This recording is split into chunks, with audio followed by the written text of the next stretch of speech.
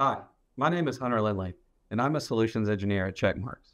Today, I'm here to talk to you about the implementation of scanning best practices.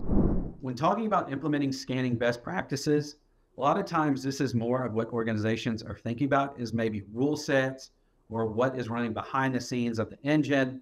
Um, so we covered the basics, right, that you need to be good at. Well, this is that aspect of what rules are running, what file, you know, what files are we including, what are we excluding.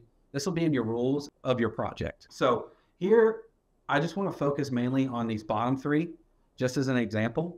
So one, one way you can really help implement best practices within your organization is from understanding, hey, maybe we don't need to scan these specific files or artifacts that have been generated. Um, maybe we only want to include this these files. So there's different ways to only look at what you want to look at, which can help speed up a scan, um, can help you, you know, understand what you're going to be looking at, just overall increasing the fidelity of results, right? We can also look at preset names, which is going to be our rule sets that, that are scanning, that our engines are scanning with. So for example, here's a, a SAST rule with the preset name ASA Premium. So ASA Premium is when Checkmarx is generated, but this is another way that we can really target what we want to look at, right, from a vulnerability perspective. So for example, maybe this was an Android application. I could come in and select the Android um, preset. So we have different presets based upon your needs.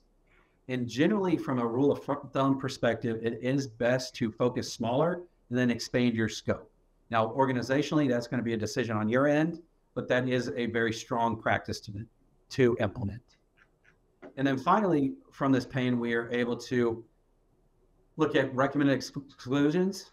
So that's something Checkmarx has put out where we're able to say, hey, from our knowledge base, from the years we've been doing this, what are areas that we can ex- maybe exclude some files, some folders that we don't need to look at, and we can implement recommended exclusions as well that can also help speed up scan time, um, increase result fidelity. So again, a lot of these are built out of the box, and we also allow for customization that we can talk about at another time.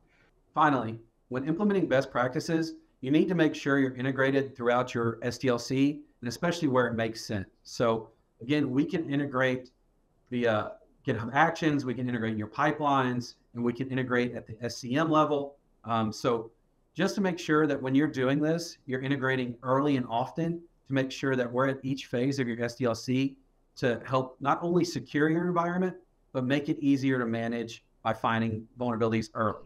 And that's how you implement scanning best practices within the Checkmarx One platform. If you like this, we have a lot more videos on how to work with Checkmarx on our YouTube channel. Check out the link in the description for more.